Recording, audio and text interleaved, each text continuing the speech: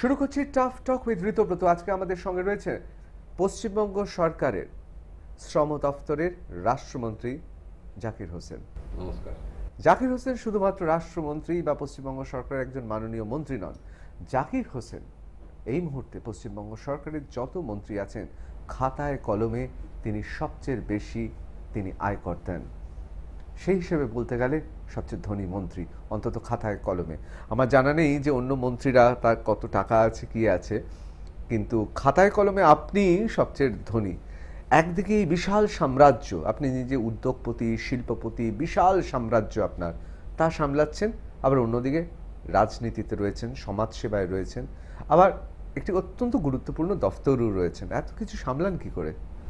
দেখেন, আমি একজন ব্যবসাদার, প্রতিষ্ঠিত ব্যবসাদার হিসাবে।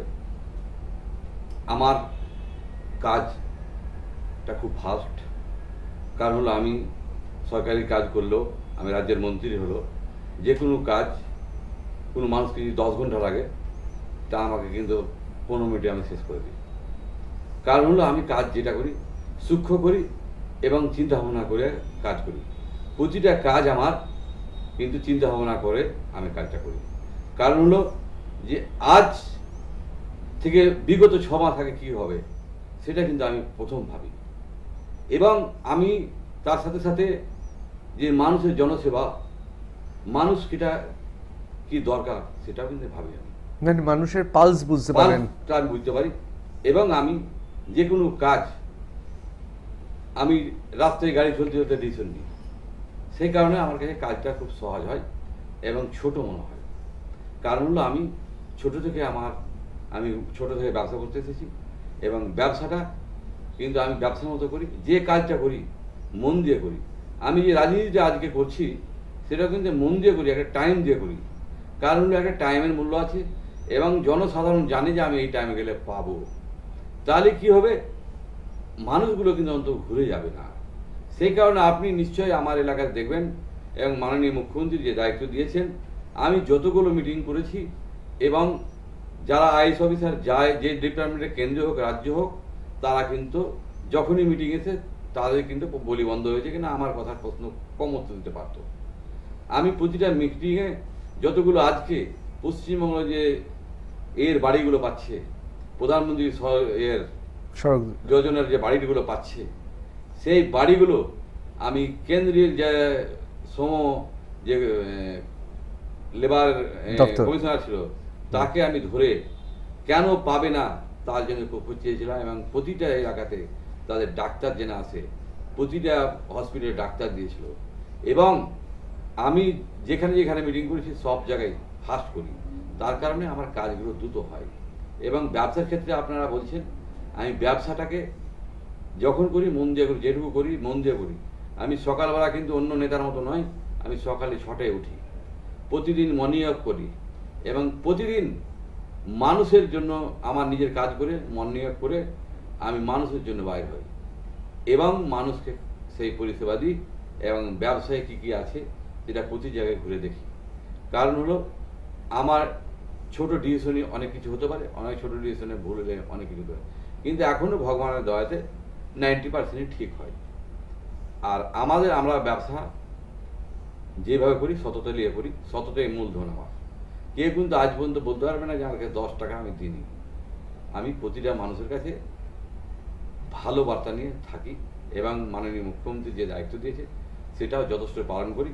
কারণ আমরা যে সামাজিক সুরক্ষা যোজনা আপনারা জানেন, মাননীয় মুখ্যমন্ত্রীর স্বপ্ন আমাদের মলয় ঘটক আছে এবং আমাদের মন্ত্রী এবং মাননীয় মুখ্যমন্ত্রী, সেটা মুর্শিদাবাদ পরপর সামাজিক সুরক্ষা যোজনায় ফার্স্ট হয়েছেন এবং বেনিফিট দেওয়াতে ফার্স্ট হয়েছে। আমরা কিন্তু যে কাজগুলো আছে সেগুলো কিন্তু ফার্স্ট এই জেলাকে করেছি। একজন শিল্পপতি বা ব্যবসায়ী হিসেবে যে প্রশ্নটা সবার আগে আসে রাজনীতিতে এসে এই দায়িত্ব গুরুভার দায়িত্ব নিয়ে ব্যবসাতে লাভ হচ্ছে না ক্ষতি হচ্ছে? দেখুন যদি বলেন তাহলে নিজস্ব কিছু ক্ষতি আছে কিন্তু যেটা হয়েছে জন্য সাধারণের উপকার হয়েছে। দেখুন আমি আমার জন্য নয় একজন সমাজসেবীর কাছে কাজ হলো যে আমার যে কিছু একটু ক্ষতিও হয় মানুষের যদি উপকৃত হয় তাহলে কিন্তু আমরা সে কাজটা করে তৃপ্তি পাই। আমি হয়তো একজন ব্যবসাদার ছিলাম আমি একজন সমাজসেবক আমার এই রাজনীতি না করলেও আমার অনেকটা নাম ছিল। বা এলাকাতে মানুষ গোটা মুর্শিদাবাদের মানুষ চিনতেন এবং মালদা মুর্শিদাবাদ বিভিন্ন জেলার মানুষ আমাকে চিনতেন। কিন্তু আমি যেটা হয়তো আগামী দিন যেটা পশ্চাতাম যে এই রাস্তাঘাটগুলো আমাদের এত খারাপ বা এলাকার মানুষগুলো ফ্যাসিলিটি পাচ্ছে না এই নেতাগুলো তো কাজ করে না তারা বসে থাকে। কলকাতা যায় আর বসে থাকে। তাই আমার আমাকে কিছু মানুষ বলল আপনি ভোটে দাঁড়ান। আমিও যে কোনো কারণে সবারই চাপের কারণে হয়তো রাজনীতি এলাম। কিন্তু এইটা একটা তৃপ্তি পাই যে মানুষের কাজ যখন করতে পারি এই তৃপ্তি পাই। কিন্তু যদি আপনি বলেন যে ব্যক্তিগত ব্যবসায়ী লস তো অবশ্যই। কারণ সবটা তো সেই মতো আর দেখতে পারি না। কিন্তু যথেষ্টই দেখি তার সত্ত্বেও রাজনীতিটাকে ভালোভাবে দেখি। এর মাননীয় মুখ্যমন্ত্রী বাংলার জন্য কাজ করছে, আমার বাংলাকে যেন এগিয়ে নিয়ে যাওয়ার জন্য। আমি কিন্তু আমার মুর্শিদাবাদকে এবং আমার বিধানসভা তাকে এগিয়ে নেওয়ার জন্য বহু কাজ করেছি এবং অনেক বহু বড়, ভালো ভালো মন্ত্রী বা ভালো ভালো হয়তো এমএলএ তারা বা কোনো এমপি কোনোদিন কাজ করতে পারেনি, এত কাজ করেছে। আমার বিধানসভায় চারশো কোটির উপরে কাজ করেছি। কারণ হলো আমি সবার সঙ্গে একটা ভালো আমার রিলেশন আছে। যে গেছি, আমি তাদেরকে ধরে কাজ করেছি এবং কাজ করে যাব।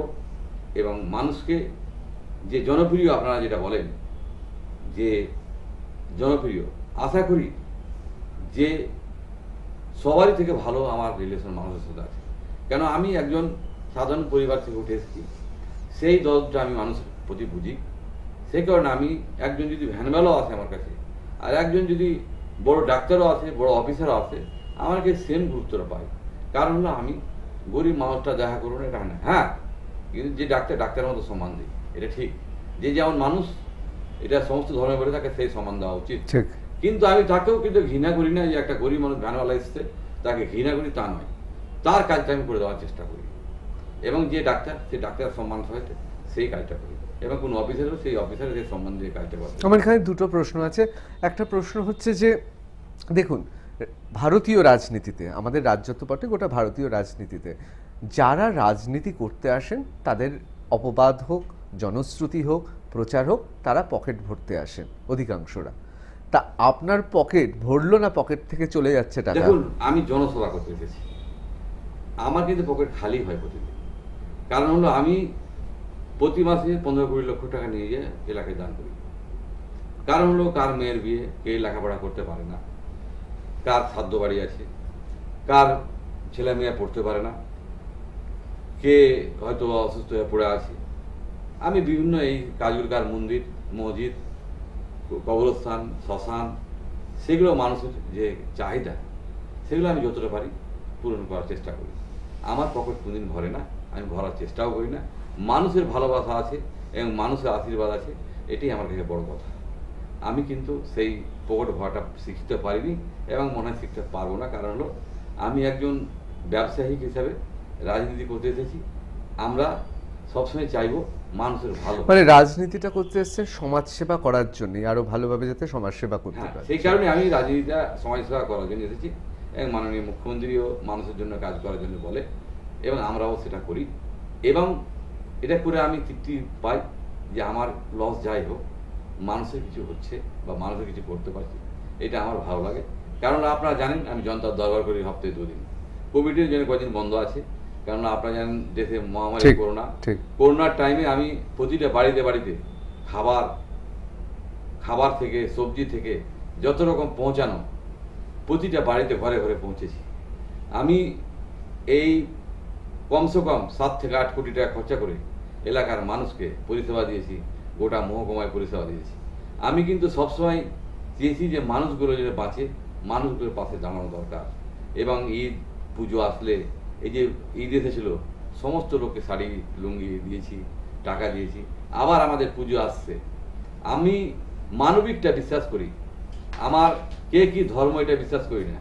ভালো মানুষ এবং খারাপ মানুষকে বিশ্বাস করি। আমি ভা- আমি সেই মানুষগুলোকে পুজোতে আসছে শাড়ি, লুঙ্গি, টাকা যেটা লাগবে সেটা আমি কিন্তু, আমি চাইব যে কোভিডে অনেক কাজ কাম বন্ধ হয়ে গেছে, তারা যেন তাদের বাড়িতে অন্ন চাপে এবং তারা নতুন শাড়ি, লুঙ্গি পরে তারা যেন পুজো দেখতে পারে এবং ধুতি পরে যেতে পারে, সেই আমি ব্যবস্থা রেখেছি। এবং মানুষের কল্যাণে কি কাজে লাগে সেটা আমি চেষ্টা করি। আমার বারবার যেতে অসুবিধা হয় না। যে মানুষের কাজের জন্য। মানুষের তো উপকার হোক। আমাকে যদি কিছু খারাপও লাগে অনেক সময়, কেন আমি দেখেন, আমার কাছে, আমি পনবাবুর কাছে পনবাবু ছিল। আমি যখনই যেতাম, দরজা খুলে ঢুকে যেতাম। কোনদিন অ্যাপয়েন্টমেন্ট নিই আমি। আজ পর্যন্ত যতদিন পনবাবু ছিলেন, উনি কিন্তু ভারতবর্ষের দ্বিতীয় ম্যান ছিলেন। কিন্তু কোনোদিন আমি কোনোদিন অ্যাপয়েন্টমেন্ট লাগতো না, আমি দরজা খুলে ঢুকে যেতাম। কিন্তু আমাকে যেই থাকতো, আমাকে সবার আগে লাইন দিত বা আমাকে ডাকতো আগে। কারণ হলো আমি এই কাজটা করি না যে পিছে থেকে কোনো ছুরি মারার চেষ্টা করি। যা বলি আমি সামনাসামনি বলি। এই কারণে আমাকে ভালোবাসতেন এবং যে কোনো কাজ বলে গুরুত্ব দিতেন। এই কথাটা খুব গুরুত্বপূর্ণ বললেন পেছন থেকে ছুরি মারেন না। কিন্তু এই যে কাজ করছেন এই যে এত ঐশ্বর্য এত বৈভব এত আপনার ব্যবসার বিরাট সাম্রাজ্য ঈর্ষা করছে না লোকে? পেছন থেকে ছুরি মারছে না? দল এবং দলের বাইরে? আমি আপনাকে বলি হিংসা অনেকেই করে। দেখেন আমাকে হ্যাকেট করার অনেকেই চেষ্টা করছে, অনেকেই করেছে। তবু আমি দেখুন, মানুষের সাথে কাজ করছি কেন? মানুষ শ্রেষ্ঠ কথা, মানুষ শ্রেষ্ঠ জীব, তাদের হয়ে আমি কাজ করে যাচ্ছি। আমি হ্যাকেল হয়েছি, এটা ঠিক, অনেক হ্যাকেল হয়েছি। কারণ আমি সত্যি কথা, দেখুন, আমি রাজনীতিতে নতুন এসেছি, আমি রাজনীতির জীবনে চালিয়ে এসেছি। পূর্ণবাবুকে জিতার হাত পক্ষে পক্ষে আমার হাত। এবং আমি এই সাব জেলায় বলে দিতে পারতাম যে কে জিতবে আর কে হারবে। সেটা হয়তো আজকে আপনাকে বলছি।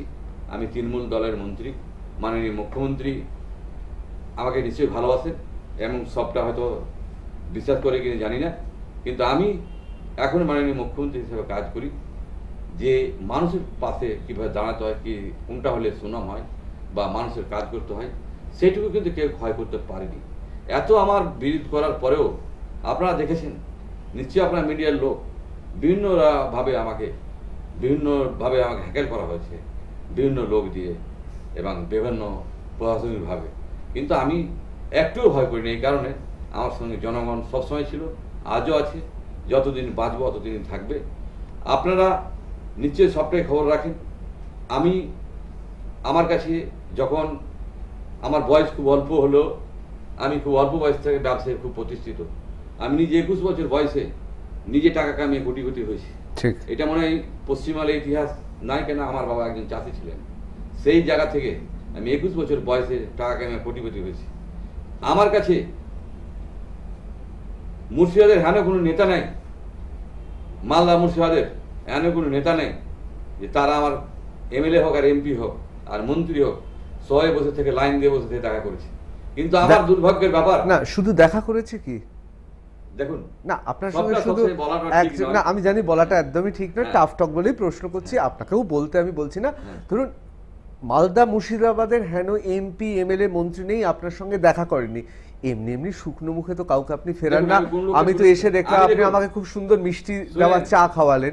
সুতরাং আপনাকে বলি আমি কোনোদিন কোনো মানুষকে ফেরত দিই হ্যাঁ, এইটা। আমাদের যা বোঝার আমরা বুঝেছি আপনি খুব মানুষকে সুন্দরভাবে বললেন। আপনি আপনি কারোর সঙ্গে খারাপ ব্যবহার করেননি কাউকে শুকনো হাতে ফেরাননি এবং মালদা এবং মুর্শিদাবাদের সমস্ত এমপি এবং এমএলএরা মন্ত্রীরা বিভিন্ন দলের আপনার কাছে এসছেন এবং কাউকে আপনি ফেরত পাঠাননি। আপনি খুব ভদ্রতার সঙ্গে বিনয়ের সঙ্গে যা বলার বলেছেন। আপনি নিশ্চয়ই আপনারা জিজ্ঞাসা করবেন আজও আমি মাননীয় মুখ্যমন্ত্রী নেত্রী হিসেবে কাজ করছি আমি তার সৈন্য হিসাবে। কিন্তু আপনি জিজ্ঞাসা করবেন আমি কোনোদিন কোন নেতার সঙ্গে নিশ্চয়ই আপনারা নিচে বসবেন কোনো মানুষের সঙ্গে কোনোদিন খারাপ ব্যবহার করি না। কেন? দেখুন খারাপ ব্যবহার মানুষের কাছে। আমাদের গুরু শিখিয়েছে আমাকে বাবা মা যে আমি যদি শালা বলি তো একটা কথা যদি দাদা বলি একটাই কথা। তা আমি দাদা বলব শালা কেন বলব? আমরা মানুষের কাছে মানুষের হিসাবে কাজ করেছি এবং আমার কাছে অন্তত ইলেকশনের টাইমে দশ বিশ জন এমএলএ লাইন দিয়ে বসেই থাকতো। ঠিক। কিন্তু আমার দুঃখের বিষয় যে আমার মনে হয় যে আমার এই দলে যারা দলে যারা আছে যে আমাদের দলে আছে তারাও এরাও বসেছিল আমার কাছে অনেকদিন। কিন্তু এখন মনে হয় যে এই দলটা এসে মনে হয় আমাকে অনেকটাই পিছিয়ে যেতে হচ্ছে। কারণ মনে হয় ওরা চাইছে আমার কাছে বসুক। কিন্তু আমি তো সেটা পারব না করতে এত নিজে আনতে পারব না। ঠিক। কেন আমার কাছে এমএলএ এমপি প্রণববাবু গনি খান চৌধুরী এবং প্রিয়ন দাস মন্ত্রীদেরকে কোনো অ্যাপয়েন্টমেন্ট লাগেনি। কোনো সিপিএন আমলে কোনো অ্যাপয়েন্টমেন্ট লাগেনি আমার। তো আমার সেই অভ্যাসটা তো আমার আছে। সবাই তো আমার কাছে দেখা করতে এসেছে। আমি কিন্তু দেখা করতে খুব কম গেছি আমার কাছে লোক দেখা করতে এসেছে। বহু লোকের সঙ্গে বহু নাম বলব না। বহু লোক এসেছে বহু লোক দেখা করেছে। যারা কেন্দ্রীয় মন্ত্রী ছিল তারা আমার সাথে দেখা করেছে। দেখা করেছে এবং হাসি মুখে হ্যাঁ, ফিরে হাসি গেছে। মুখে ফিরে গেছে। কেউ আমার কাছে কিন্তু কষ্ট করতে যায়নি। শূন্য হাতে ফেরেনি। শূন্য হাতে ফিরেনি আর কষ্ট করে যায়নি। কষ্ট করে যায়নি। তাহলে কি জাকিরদা এটা ধরে নেব? একজন নিজে খুব কষ্ট করে একুশ বছর বয়স থেকে খুব কষ্ট করে কোটিপতি হওয়া এবং তারপর ধীরে ধীরে এই বিশাল সাম্রাজ্য তৈরি করা এবং ঐশ্বর্য বৈভব হওয়ার পর আপনার মনে হয়েছে সমাজসেবা করা উচিত। এবং সেই জন্য রাজনীতির মানুষদের সঙ্গে পরিচয়ে তারা আপনার কাছে আসতেন এবং আপনি দেখলেন যে তারা আসছে এবং কাউকে আপনি শুকনো মুখে, কাউকে আপনি ফেরত পাঠাতে পাচ্ছেন না। একটা সময় নিজের মনে হলো কেন আমি এই সব করছি আমি নিজেই এবার কাজ করি আর সেই জন্যই কি রাজনীতিতে আসা? ওদের দিক দেখে নয় না ওইটা দেখে নয় না। না, না আমি- আপনি যেটা বলছেন আমি সেটা বলছি না। আমি বলছি না ওরা আপনার কাছে কেন আসতো আমরা সবাই বুঝতে পারছি। আপনি খুব ভদ্র আপনি বলছেন না আমিও বলছি না। কিন্তু আপনি এই যে আপনি তো খুব কষ্ট করে অর্জন করেছেন এই বিরাট বৈভব বিশাল ঐশ্বর্য। কিন্তু যখন আপনি কাজ করতে গিয়ে দেখলেন মানুষের জন্য কাজ করতে গিয়ে দেখলেন যে রাজনীতিবিদদের আপনি শুধু দিচ্ছেন কিন্তু মানুষের কাজ করতে- করার জন্যই রাজনীতিতে আসা। মানুষের কাজ করার জন্য আমি রাজনীতিতে এসেছি। আমাকে কিছু বিশিষ্ট লোক এবং সাধারণ মানুষ আমাকে পাগল করে দিচ্ছিল যে আপনি আসলে অন্তত আমরা কিছু পাবো বা সরকারি কাজ হবে এখানে এলাকায় উন্নয়ন হবে। সেটা আমি করেছি। অনেক কাজ করি মাননীয় মুখ্যমন্ত্রীর এতে আমি করেছি। কিন্তু অনেকটাই হয়তো অনেক পারিণামিক বাধার সৃষ্টি হয় অনেক সময় কারণ অনেকেই মানুষ হিংসা করে। কিন্তু আমার সেই ব্যবহারটা এখনও নাই। আমি কিন্তু আজকের ডেটে হয়তো কোনো কথা বললে হয়তো আমার হয় না। কিন্তু আমি যখন রাজনীতি করতাম না, কোনো কথা আমার ফেরত আসেনি কিন্তু এখন হয়তো দশটা বললে আটটায় ফেরত চলে আসে। কিন্তু সেই টাইমে যখন আমি কিছুই ছিলাম না, তখন আমি দশটা বললে নটায় কথায় আমার কোনোদিন ফেরত আসেনি কারণ আমি সেই ব্যাপারটা অফিসার এবং যারা ছিল, কেউ অখুশি ছিল না, সবার সঙ্গে একটা আমার ভালো গুড রিলেশন ছিল এবং আমার ব্যবহার কোনদিন আমি সঙ্গে খারাপ করিনি। কোনো লোকের সঙ্গে কোনোদিনই আমি ভয় পাইনি আবার। একটা আমার রেকর্ড আছে আমি ভয় পাইনি। আপনি তো ভয় পান না আপনি অকুত ভয় আমরা জানি। আমি এই বিষয়ে তো আলোচনায় আসব। ভয় পাই না। আমি কিন্তু সবসময় মানুষকে একটা রেসপেক্ট করি এবং মানুষকে সম্মান জানাবার চেষ্টা করি। কিন্তু আমাকে যদি বলো যে আমি সবসময় চালাতে হবে এটা কিন্তু আমি পারব না। কেন আমাকে কিন্তু এটা তো অদ্ভুত আমি দেখুন আঠেরো বছর বয়স থেকে একুশ বছর কোটি ভর্তি হয়েছি কিন্তু আঠেরো বছর বয়স থেকে আমি জনসেবাটা করি। আমার বয়স সাতচল্লিশ বছর রানিং আমি কিন্তু এই জনসেবাটা সারা লাইফ করে এসেছি। এবং মানুষের সুখে দুঃখে দাঁড়িয়েছি এবং মানুষ অনেক রিলিফ পেয়েছে। আমি তখন থেকে করে এসেছি। এমন অফিসার নেই যে আমাকে চিনতেন না। আপনি মুর্শিদাবাদকে নেই, কলকাতার অনেক অফিসার আছে, IAS, IPS, WBCS, sub inspector, সমস্ত মানুষ আমাকে চিনতেন এবং সবার সাথে সুসম্পর্ক থাকতো। কোনো মানুষ আমার কথা ফিরেতে খুব কম পারত। কিন্তু আমি, আজকের দিনে হয়তো অনেক সময় অনেক কথা ফিরে যায়। তখন কিন্তু ফিরতে না। এটা খুব আশ্চর্য যে আপনি যখন মন্ত্রী ছিলেন না রাজনীতিতে ছিলেন না তখন বরং আরও বেশি ক্ষমতাবান ছিলেন। এখন যেন মনে হচ্ছে যে রাষ্ট্রমন্ত্রী হওয়ার পর মন্ত্রী হওয়ার পর রাজনীতিতে আসার পর যেন কোথাও মনে হচ্ছে আগের থেকে কোথাও যেন একটু ক্ষমতাটা কমে গেছে। দেখুন এটা স্বাভাবিক কথাই মানুষের আপনি তো একটা কথা বললেন হিংসা। অনেক মানুষ হিংসা হিংসা করে সেটা কিন্তু ওরা নিজের স্বার্থ করে। আমি কিন্তু আমার স্বার্থ দেখি না ঠিক। আমি দেখুন সবসময় চেয়ে চাই মানুষের ভালো হোক মানুষের কল্যাণ করা আমাদের কর্তব্য এবং ভগবান মানুষকে সৃষ্টি করেছে এক অপরের সেবা করার জন্য। আমি যাকে খাই আর আমার পাশের যদি না খেয়ে থাকে সেটাও কিন্তু পাপ। আমরা জানি যে আমাদের কোরআনও লেখা আছে আশেপাশের বাড়ির মানুষের খোঁজ নাও তারা খেতে পেয়েছে। আমি পেট ভরে খেললাম তারা না খেয়ে তার ছেলেমেয়েরা ঘুমাবে কাঁদছে আর ঘুমাবে তারা ঘুমাসবে না সেটাও পাপ। আমি দেখুন ঈশ্বর আল্লাহ যাই বলেন এক। সেই যে বিশ্বাস করি সেই হিসাবে কাজ করে যাচ্ছি। এবং যতদিন থাকব মাননীয় মুখ্যমন্ত্রীর আদর্শকে নিয়ে আমরা রাজনীতি করছি এবং মানুষের সেবাটা করে যাব।